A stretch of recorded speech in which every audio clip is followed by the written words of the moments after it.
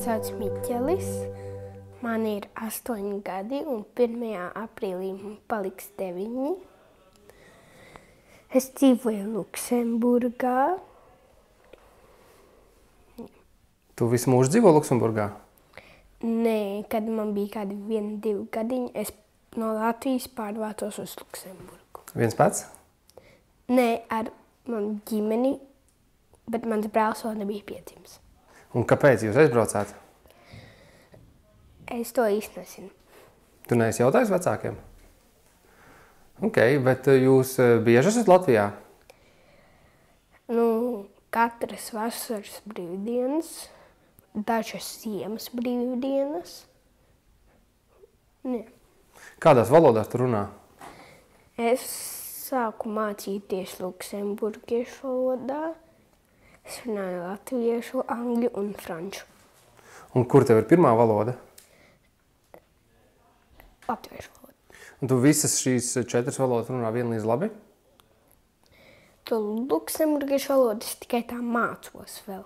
Kura tev šķiet sarežģītākā, tā gramatiski? Gramatiski franču.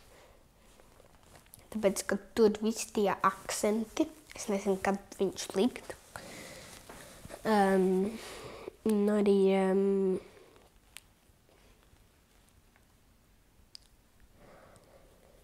un arī, ka tur uh,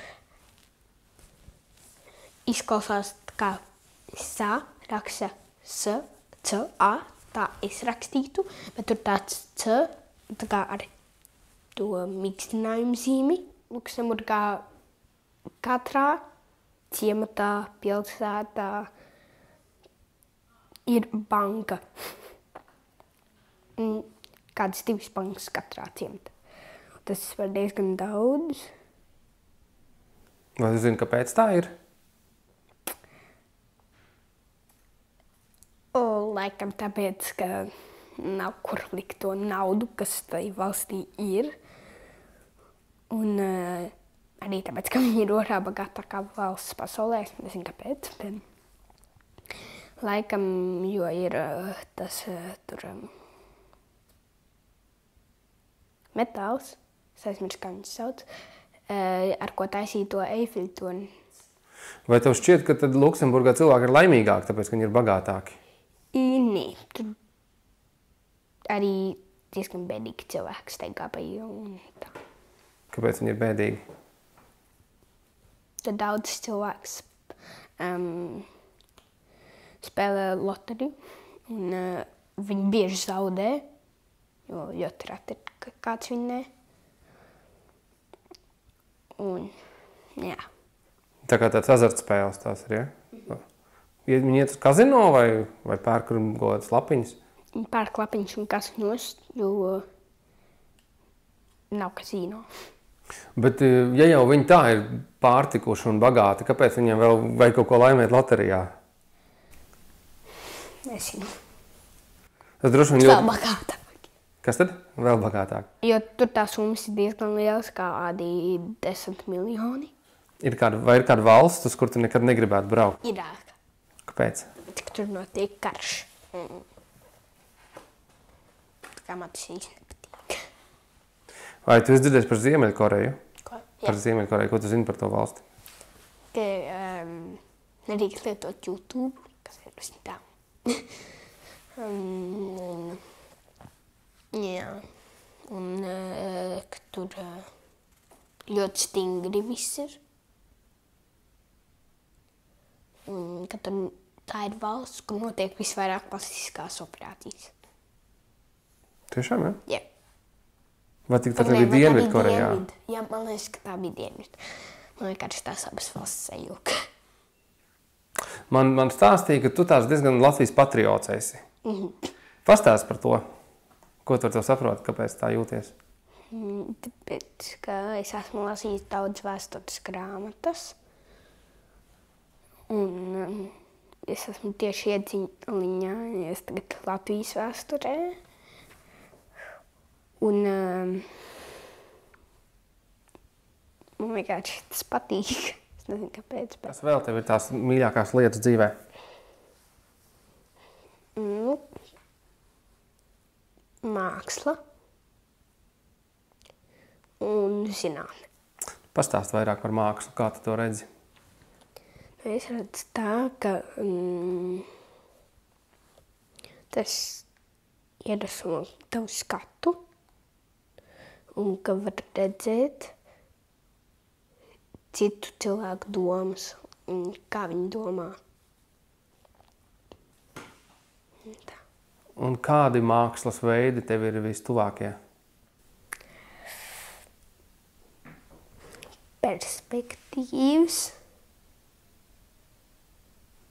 un uh, realisms. Uh, ne, nevis realisms, bet 3D. Ai, es vēl aizmirsu piebilst, ka man mūzika arī tāds hobijs ir. Kam, nezinu, Pastāst par savām attiecībām ar mūziku. ka tā mūzika ir eh, tāda. Mm, man patīk tādas kā klusas un klusa mūzika. Un,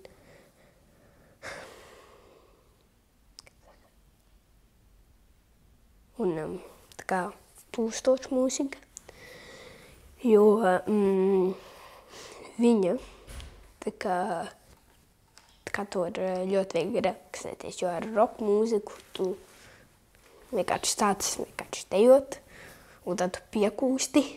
Un tad tev vienkārši vajag relaksējošu mūziku, bet ir roka koncerts, tā kā īsti nevar tā būt. Un, jā, Bet tu klausies arī roka mūziku kādreiz? kādreiz, jā. Es kādreiz spēlēju stabuli, bet tagad ne tik daudz. Es spēlēju kokli un ģīgu. Un ko? ģīgu. Kas tas ir? Tas tā kā tāds um, koku instruments, apmēram šis liels, ar trīs stīgām. Un no zirga astes ā, tā tur ā, no zirga matiem taisa to tā kā, tā kā to loku, lai spēlētu to instrumentu. Un tu spēlē viens pats vai ar kādu kopā? Es spēlēju ģīgu viens pats, jo mums eh, kopā nav citas ģīgas. Bet uh, koklī spēlēju kopā un stabu arī kopā ar citiem maniem folkloras pariediem. Vai tev skolā ir kādi bērni, kas ir veģetārieši? Viens. Vai tu zini, kāpēc? Tāpēc, ka viņa ir um, islāmieta. Un tāpēc arī nē, gaļu. Mhm. Ko tu zini par islāmu?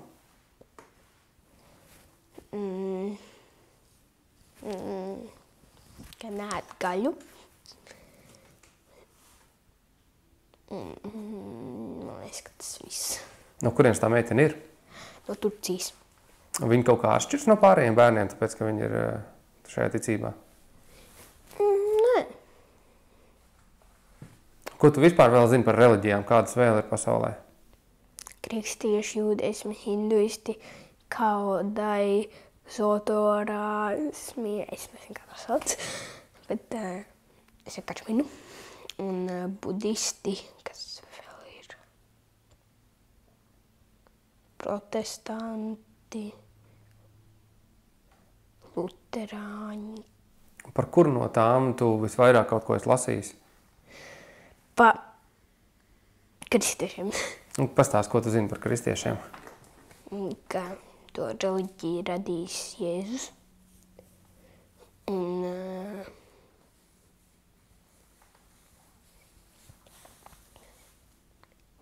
ka lieldienas ir kā atzimšanas periods tiem kristiešiem. Un uh, ka viņš dzimis tieši Ziemassvētkos. Vai tev šķiet, ka visas, reliģijas ir, ir patiesas, vai, vai viena ir patiesa, vai, vai neviena nav patiesa? Nu, tas īsti nav apstiprināts. Es īstenībā nezinu, kura ir patiesa, kur nepatiesa, vai, vai vispār reliģijas patiesa. Kā tev šķiet, vai zinātnē var atbildēt uz šo jautājumu?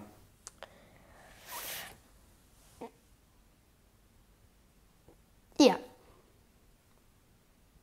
Mm, pierādīts, ka nav. Man liekas. Tāpēc, ka ar teleskopiem skatās debesīs. Skatās, kā zvaigznes iet un tā. Bet uh, nav neviens redzējums ar kosmosa kuģi nekāds vai ar satelītu. Nav neviens redzējums, ka ir tā, tā kā paradīze vai ir kaut kāds tāds cits. Vai zinātnē var atbildēt uz pilnīgi visiem jautājumiem? Mm.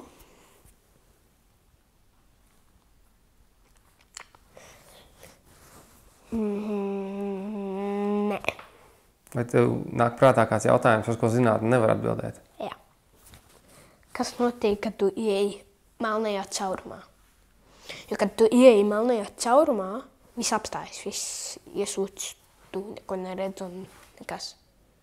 Bet kas notiek, kur tad esi un tā? Kas ir laimīga dzīve vispār, tavuprāt? Kas cilvēkam vajadzīgs, lai viņš būtu laimīgs? Nezinu. Kas tev vajadzīgs, lai tu būtu laimīgs? Grāmatas.